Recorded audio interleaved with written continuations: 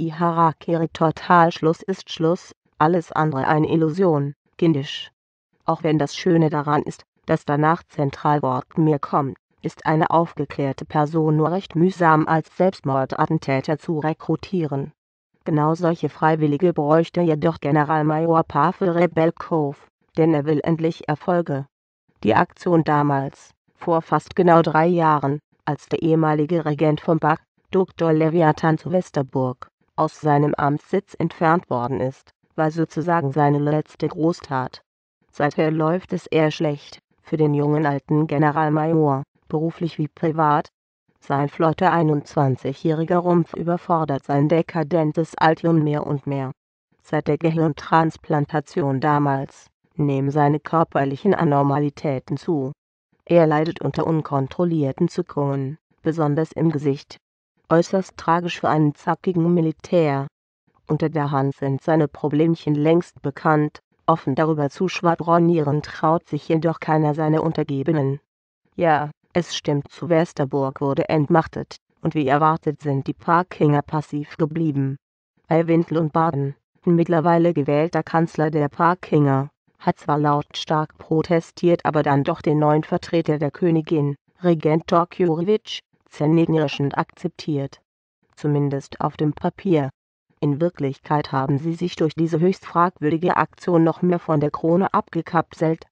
Selbst in den Kreisen um Rebelkov hat man keine verlässlichen Daten zur tatsächlichen politischen Lage drüben auf Barprime im Indie-System.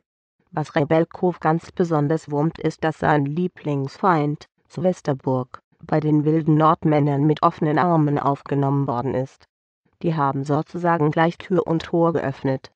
Diese rauen Gesellen sind sehr anpassungsfähig Sie erdulden die neuen Paraden, Zählungen und Befragungen anstandslos.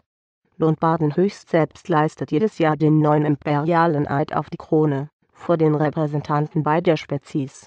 Nach außen hin ist dort also alles in Ordnung. Was jedoch keiner auf der Rechnung hatte, war die Reaktion daheim.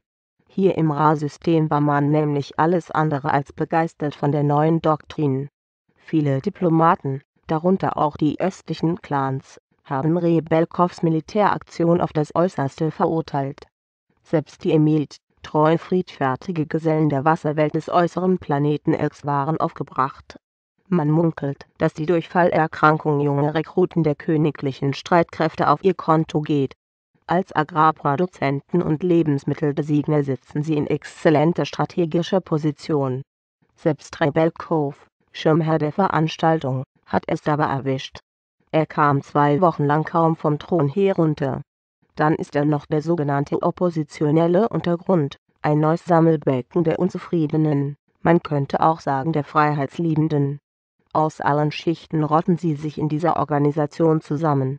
Was sie dort genau ausbrüten, ist unbekannt. Ein Ärgernis sind die aber in jedem Fall. Ja, die Probleme haben zugenommen, seit jener denkwürdigen Aktion. Für Rebelkov selbst jedoch war dies erst der Anfang. Zeit wird's für die nächste Phase die Abschaffung der Tausend. Da kommt ihm der nächste Termin gerade recht. Diepel. Bing. Tore Arimator, ein ehemaliger Assistent von Dr. Telon Abendrot und zielstrebiger Mechatech der neuen Generation kennt wenig Skrupel. Er hätte da ein besonderes Schmankerl für ihn. Seine mechanische Harakiri-Armee steht kurz vor der Vollendung.